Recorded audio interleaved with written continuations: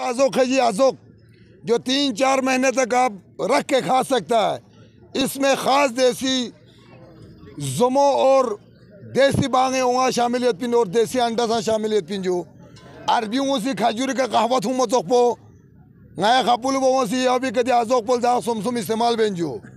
और गुण आना कराची तक तोहफा करने और गुण बोए भी नाश्ता बेन जी तो आपने देखा कि यहाँ पर एक स्टॉल ऐसे मौजूद है जहाँ पर ट्रेडिशनल जो खाने यहाँ पर तैयार है।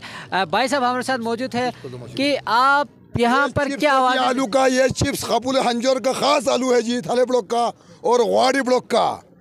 ये चिप्स आज मुल्क के मुख्तलिफ़ वो क्या नाम है चिप्स के कंपनियों में यहाँ से उस ले जाकर इस्तेमाल करते हैं।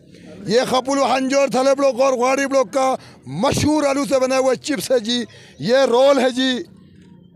ये रोल है और ये अजोक सबसे अनोखा ये डिश है जो तीन से चार महीने चार मारिश तक चला सकते हैं।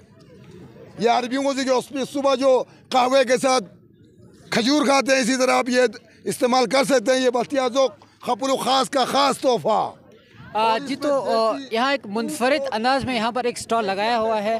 तो यहाँ पर हम इस स्टॉल की तरफ़ बढ़ते हैं कि इनके स्टॉल में क्या है और इसको, यहाँ अगर स्टॉल के अगर नाम बताया जाए तो यहाँ पर अरिश्मान ऑर्गेनिक गेस्ट हाउस है। जो कि खपलों में है और वहाँ पर आप ये सारे क्वालिटी के आइटम्स आपको मिलेंगे। यहाँ पर हमारे साथ इस रेस्टोरेंट के शेफ़ मौजूद है। हम उनसे जानते हैं, अस्सलाम वालेकुम, आपका नाम क्या है? आपके स्टॉल में क्या क्या चीज़ें हैं? क्या आप बना रहे हैं अस्सलाम वालेकुम। हमारे पास है, या कढ़ाई है और मटन कढ़ाई है और बस्ती फ़ूड भी है ममतू है और छपल है। अच्छा जो आपके स्टॉल में यहाँ पर ट्रेडिशनल खाने हैं? जी जी है बिल्कुल। भले है छपल है और ममतू है और इसके अलावा बस यही है। अच्छा जो बले है छवले है ये खबरों की स्पेशलिटी जी, जी, है। जी, ये तो इसको कैसे बनाया जाता है? इसका तरीका कार क्या है? छापले में इसमें इसमें वो बाजरा डालते हैं और इसमें देसी आयल डालते हैं मक्खन वगैरह। अच्छा तो यहाँ पर आपके स्टॉल में कितने लोग आए लोगों ने क्या कहा आपको क्या फीडबैक मिली? बहुत ज़्यादा ये देखो पीछे बहुत बड़ा था।